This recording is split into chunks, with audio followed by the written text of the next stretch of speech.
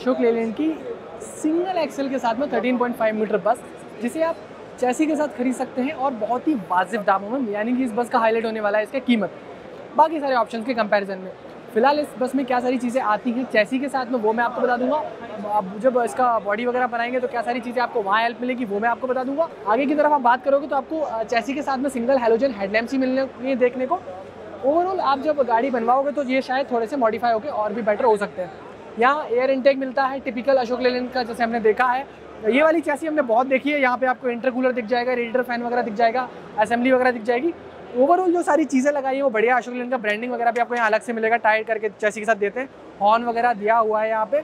But मेरा उम्मीद यही है कि जब आप गाड़ी बनवाओगे, पूरी गाड़ी बन जाएगी तो आपका ये सब चीज़ें चेंज हो जाएँगी। सामने की तरफ़ से जब आप बात करते हो तो यहाँ पे आपको स्टेयरिंग बॉक्स वगैरह देखने को मिल जाता है। ये सारी चीज़ें छोटी छोटी लाइट्स वगैरह यहाँ पे देखने को मिल जाती है ओवरऑल ये सारी चीज़ें चैसी के बारे में अब शो वगैरह आपके ऊपर कंप्लीटली बनवाना है ग्लास आपको बड़ा बनवाना है स्प्लिट बनवाना है, क्या बनवाना है, कितना ऊँचा नीचे रखवाना है वो। बट इस बस का डैशबोर्ड जो है वो ऊँचा ही रहता है। 13.5 स्लीपर थोड़ी सी और लगती है इतने ऊँचे डैशबोर्ड के साथ में बट डैशबोर्ड इसका ऐसा ही आता है। इंजन यूनिट की अगर आप बात करोगे तो यहाँ मिलेगा। फ्रंट इंजन के साथ में 13.5 मीटर का जो है बोल वाला होने वाला है। अब वो जमाना गया जब साढ़े बारह मीटर की बसों की बात करते थे, अब साढ़े तेरह मीटर की बसों का जो है जमाना आ रहा है। ओवरऑल यहाँ से देखोगे तो ये आपका चीज़ होने वाली है। तो पीछे की जो गर्मी होती है हमारी 13.5 मीटर बसेस में वो कहीं ना कहीं यहाँ पे बच जाने वाली है। अगर आप बात करोगे फ्रंट में तो आप देखोगे कि जो आपका व्हील बेस आने वाला है, वो बहुत अच्छा आने वाला है और बेटर हेल्प करेगा। क्यों हेल्प करेगा? क्योंकि यहाँ से जो शिफ्ट करके एक्सल को काफ़ी पीछे की तरफ़ शिफ्ट किया हुआ है। अगर हम टायर साइज़ की बात करें तो टायर साइज़ थोड़ा सा आपको गिमिक लगेगा, क्योंकि हमने जो पुराना वाला देखा था, उन्नीस अठारह एक चेसी देखी थी। बस का उसमें जो टायर साइज़ था, वो थोड़ा सा अलग था। पीछे जो ऑयस्टर बस खड़ी है, उसका टायर से में थोड़ा सा गिमिक लगा हुआ है। तो यहाँ पे अगर आप देखोगे, और दूसरी बात, ये मिशलिन के टायर यूज़ करते हैं। मिशलिन कंपनी छोड़ के जा चुकी है। ओवरऑल ये वाले टायर्स आपको नहीं मिलेंगे जहाँ तक मेरा मतलब अनुमान है। तो वो सारी चीज़ें, बाकी बोल्टिंग वगैरह अच्छी है व्हील अप्स वगैरह अच्छे दिख रहे हैं। यहाँ से अगर हम देखेंगे तो यहाँ पे आपको ब्रेक सिलेंडर्स वगैरह भी काफ़ी बढ़िया देखेंगे। और ब्रेक अंदर की तरफ़ माउंटेड होता है और अच्छे से पकड़ेगा मतलब अच्छे से पकड़ेगा। ओवरऑल बस जो है वो नोज़ डाइव नहीं करेगी। कारण है आगे की तरफ़ लगे हुए leaf spring suspension semi electrical leaf spring suspension आगे की तरफ़ लगे हुए। अगर आप बात करोगे तो यहाँ पे अशोक लेलैंड का गियर बॉक्स लगा हुआ है, जो कि अगेन अच्छी चीज़ है। प्रॉपलर शाफ्ट को अगर आप देखोगे तो ज़्यादा इन्होंने ब्रेक्स नहीं दिए। उसका जो एंगल रखा है प्रॉपलर शाफ्ट का बढ़िया रखा है, जिससे कि आपको काफ़ी सारी चीज़ों में हेल्प मिल जाएगी जब आप नीचे की तरफ़ बनाओगे। अब बस की चैसी के साथ में बस बनाने में एक बड़ा प्रॉब्लम होता है, वो ये होता है कि आपको अंडरबोर्ड स्टोरेज की बड़ी प्रॉब्लम हो जाती है। यानी कि गाड़ी के नीचे अगर आप स्टोरेज बनवाना चाहते हो तो बहुत एक कॉम्प्लेक्स प्रोसेस होता है बस बॉडी बिल्डर के लिए मैक्सिमम स्टोरेज निकालना वो सारी चीज़ें। अगर आप चैसी की बात करोगे तो यहाँ पे आपको आठ एम एम मोटी चैसी मिलती है। अशोक लैंड की चैसी से हमने कभी कंप्लेन नहीं की है। अगर आप क्रॉस uh, मेंबर्स की बात भी करोगे तो चूँकि 13.5 मीटर मतलब बहुत ज़्यादा लंबी है तो वो सारी चीज़ें भी आपको यहाँ पे बेटर मिलती है। प्रेशर टैंक्स की अगर बात करो तो चैसी में अंदर की तरफ़ इंटीग्रेट किया गया है वो सारी चीज़ें डिस्ट्रीब्यूशन वगैरह मिलेगा। क्योंकि बस कम्प्लीटली ए आने वाली है और आपको ए सी के साथ ही बिल्ड होगा तो यहाँ पे आपको दो बैटरियाँ देखने को मिल जाएँगी और एक्चुअली बड़ी बैटरी से, यानी कि 150 सौ पचास आर के करंट पे ये वर्कआउट करती है। सारे जो प्रेशर टैंक से जहाँ जगह मिली है, वहाँ इनको इंटीग्रेट किया गया है, क्योंकि गाड़ी में काफ़ी सारे प्रेशर की ज़रूरत पड़ती है। ये स्टेपनी ऑब्वियसली यहाँ नहीं आएगी, नीचे की तरफ़ स्लाइड हो जाएगी, जब आप बॉडी बनवा लोगे, वो सारी चीज़ें। यहाँ पर आप बात करते हो तो सारा का सारा सस्पेंशन सिस्टम जो है, वो लगाया गया है। एयर सस्पेंशन पे गाड़ी काम करती है हाइट एडजस्ट वगैरह आप यहाँ पे कर सकते हो, वो सारी चीज़ें हैं। और अगर आप बात करोगे यहाँ पे तो एयर सस्पेंशन का जो इंटीग्रेशन है, वो बढ़िया है। यानी कि ये फेल प्रूफ एयर सस्पेंशन यहाँ पे देखने को मिलेगी। अगर आप यहाँ की तरफ़ बात करोगे तो यहाँ भी आपको सारी चीज़ें जो है वो इंटीग्रेट मिल जाने वाली है।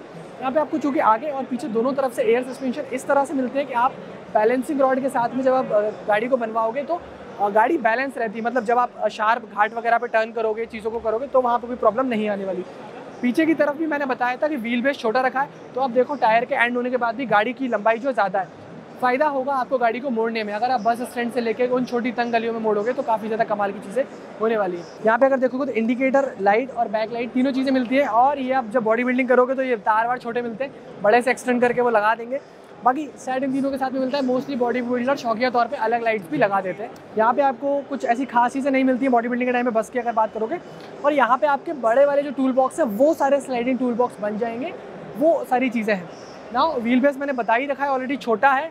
एयर सस्पेंशन आपको दो पार्ट्स में मिलता है, दोनों तरफ़ से बढ़िया मैनेज करेंगे।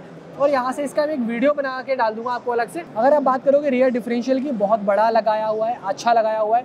बैलेंसिंग रॉड्स भी यहाँ से आती है सस्पेंशन के लिए ताकि बॉडी का थोड़ा सा रोल कम हो जाए। वो सारी पार्ट से क्रॉस मेंबर्स वगैरह तरीके से लगाए हुए और सही प्रपोर्शन में लगाए हुए मतलब अच्छा रिसर्च इन्होंने किया होगा और काफ़ी टेस्टिंग इसके साथ की होगी।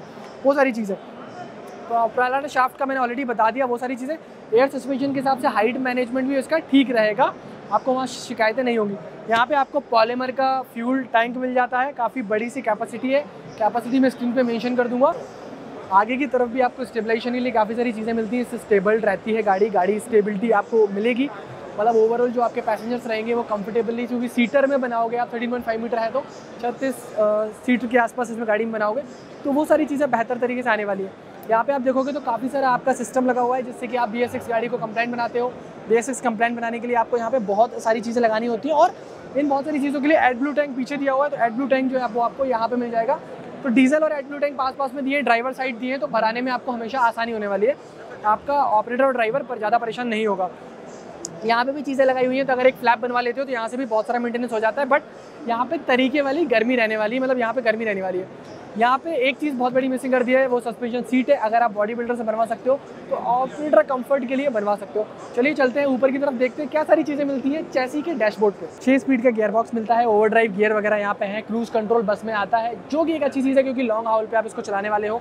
ओवरऑल अगर बात करोगे इंक्रीज डिक्रीज करने के लिए रीसेट करने के लिए वो सारी चीज़ें हैं। यहाँ पे आपको लाइट्स वगैरह के सारे कंट्रोल्स मिल जाते हैं। डैशबोर्ड हमने जैसा देखा लेन का वैसे ही आता है। कोई फैंसी बटन्स वगैरह नहीं है, आप केबल लाइट वगैरह की बटन्स डोर वगैरह की बटन्स आपको न्यूमेटिक बनवाना है, कैसा बनवाना है, क्या बनवाना है, वो सब आएगा।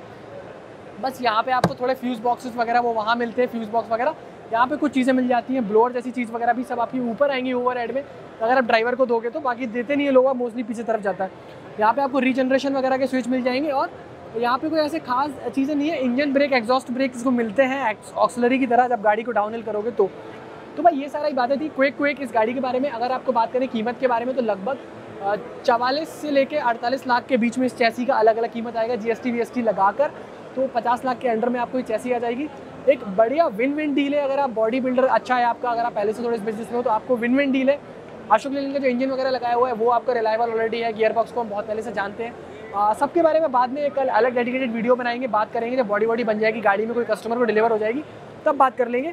फ़िलहाल के लिए इस वीडियो में इतना ही है। कोई एग्रीगेट्स ऐसे नहीं है, कोई पार्ट ऐसा नहीं जिसमें मुझे प्रॉब्लम हो या कोई बहुत अजीब सा लगाओ। तो ये सारी चीज़ें हैं और मिलूँगा आपसे बहुत जल्द। तब तक के लिए अपना ध्यान रखें और गाड़ियाँ जो है ख़रीदते रहें, गाड़ियाँ जो है वो चलाते रहें, देखते रहें हमारा कंटेंट और इस तरह का एक्साइटिंग कंटेंट जो है आते रहेगा। लाइक शेयर सब्सक्राइब आप कर सकते हैं फ्री है आपके लिए। हेलमेट पहनिए सीट बेल्ट पहनिए, सुरक्षित चलिए इंश्योरेंस वक्त से पहले रिन्यू करा लीजिए। ट्रैफ़िक पुलिस से बेवजह मत जगड़िए मिलता हूँ आपसे बहुत जल्द, ऐसे ही किसी वीडियो में, तब नमस्कार, जय हिंद, वंदे मातरम। शेयर नहीं किया तो शेयर कर दीजिए।